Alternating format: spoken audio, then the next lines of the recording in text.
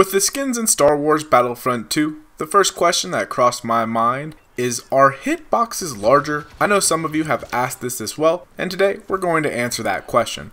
Also, there's a new map rotation out today, and we'll cover all that next.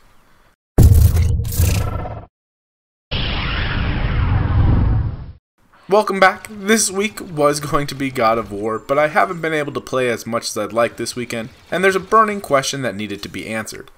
Are hitboxes larger for some of the alien skins than the default one? We all know the officer skins can have larger heads, but we'll talk about that here in a second. Also, today, there's new map rotation on the servers. This is a server side update, so there's no need to download anything, and hopefully, we'll see less Kashyyyk and more Death Star. Before we get into it, if you enjoyed this video, there's several ways you can show your support. You can hit that like button, share, comment, subscribe, or you can support this channel on Patreon. We do new videos every Monday, Wednesday, Friday, and streams at 8 p.m. Central on Tuesdays and Thursdays. It's all about community here, so everyone is welcome to join us and play during the streams. Come join the Greeny Weenie Brigade if you're on the PlayStation 4. Next, check out our friends at StarWarsGaming.net it's a great resource for the community and provides us with all the news of the day. They also release a weekly newsletter, which is Frontlines, and it comes out on Sunday and will recap the week for you. And there's a link in the description down below. For the question on skins, we had to go into Arcade to see if the boxes were bigger so we could have a controlled setting.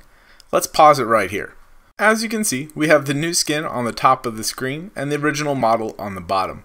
The profile of the Duros skin is definitely larger than the default model, and the red bar is at the same point on the wall to show the difference. When it comes to hitboxes, however, everything above the red line does not, I say again, does not register as a headshot or a hit.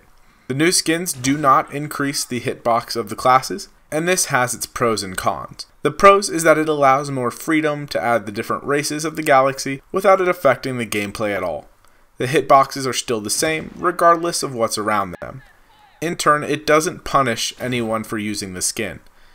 The cons of this is that even though you may think you should have landed a headshot, you've missed completely. This can be really frustrating, especially as a specialist trying to snipe, especially if you just see the top of the head.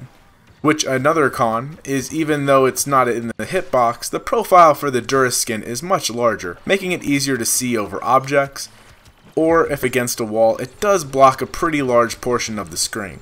Now that we know that parts of the head are not included in the hitbox, does it affect the aim assist at all? If you are near the target and aim down sights, it snaps to the closest part of the target's body if you have aim assist on.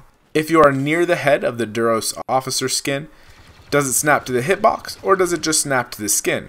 We tested this as well, and the aim assist will snap you to the hitbox. It actually snaps you to right between the eyes, which is just kind of sadistic, so there's no downside to really using the skins when it comes to hitboxes at all. In other news, last week we were informed that starting today, the 23rd of April, the map rotation for the game modes will be changing.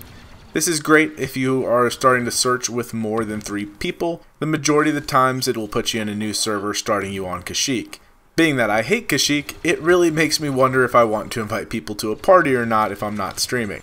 However, now that that's going to change, for Galactic Assault, we'll be starting with Takodana, Starkiller, and Yavin 4 before going through the rest of the maps. I'm super excited since now I'll get to play Yavin, which is my favorite map a lot more. And I actually do like uh, Starkiller and Takodana. I know Takodana is probably not a very popular one, but I enjoy it quite a bit.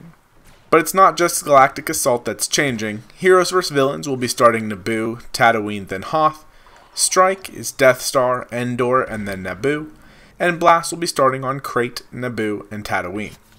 I didn't really see anything for Starfighter, but for everyone else, you'll start seeing different maps at the start of your rotation. That is all I have today. I hope you guys have a wonderful day, and I'll see you in game.